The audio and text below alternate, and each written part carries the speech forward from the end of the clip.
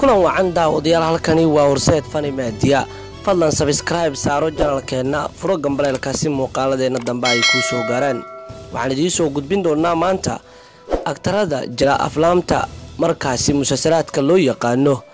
Weliba lamaanayaasha dhanka iyo musasalaadka ugu caansan ee misena aan dooranin in ay ubad isu dhalaan ayaan idinkugu soo gudbin doonaa warbixintani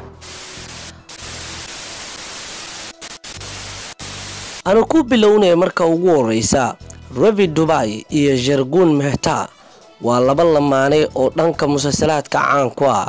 Waxay isguursadeen toddobadii diseembar sannadii labada kun iyo saddex iyo tobankii.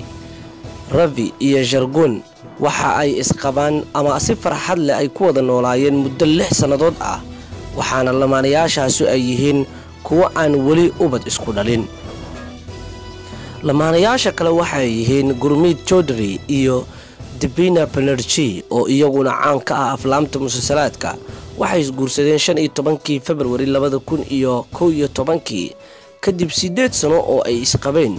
Weli waxa ay ku nool yihiin nolol aad u farxad badan.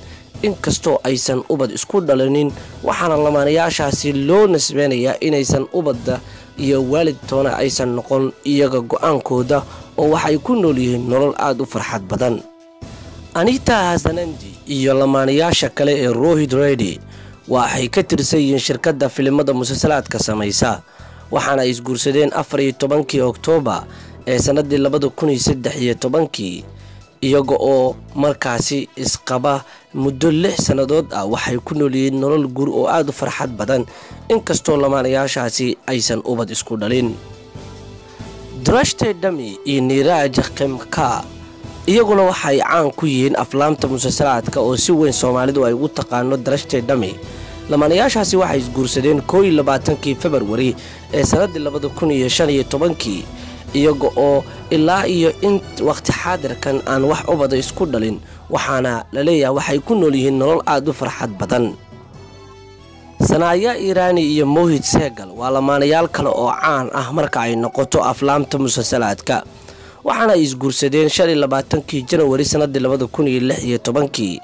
Kadib sannadahaasi oo idil lamaanayaashu wax ubad ah ma aysan isku dhalin waxaana la leeyahay waxay ku faraxsan yihiin noloshooda iyagoo in ay ubad isu dhalaan ka doorbiday in ay xirfadooda dhanka jalaannimo ay sii horumariyaan waxaana ay ku sababeeyeen in ay aada u da'yar yihiin amiir cali iyo sanjeeda sheekh waa lamaanayaal kale oo dhanka musasalaadka iyaguna caan ku ah.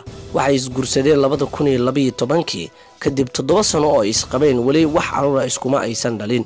Inkastoo warbaahinta gudaha waddanka hindiya dhowaan ay ogaatay in qaabka sorogeydka ay ilmo ku dhaleen. Weliba arrintaasi waxay soo shaacbaxday markii labadooda uu khilaaf soo kala dhex galay. Dhammaan lamaanahaasi aanu soo sheegnay ee aflaamta musasalaadka iyagu caan ku ah ee isguursadeen wakhtiyadaasi oo idil waxa ay sheegayaan in aysan ku faraxsanayn in dunidan ay keenaan ubad oo ay markaasi koriyaan.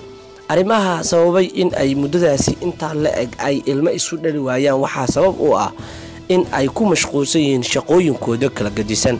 Waxaana arrintaasi ay u nisbeeyeen atariishooyinka qaar haddii ay ubad dhalaan in ay markaa ka mashquuli doonaan shaqadooda.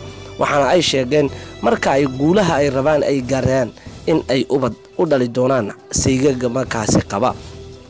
Si kastaba arrintaasi marar badan ayay warbaahintu wax ka weydiisay waxaana ay ku soo koobeen intaas aan idiin sheegay. Horseed fani meediya ayaad ka daawanaysaan qaybta hoose ee komitiga ra'yigaaga nagula wadaaga sidoo kale sii sheergareen muuqaalkan gaarsii saaxiibada horseedna ku soo dhowo oo sabskraibe saar waad mahadsan tahay furo gambaleelka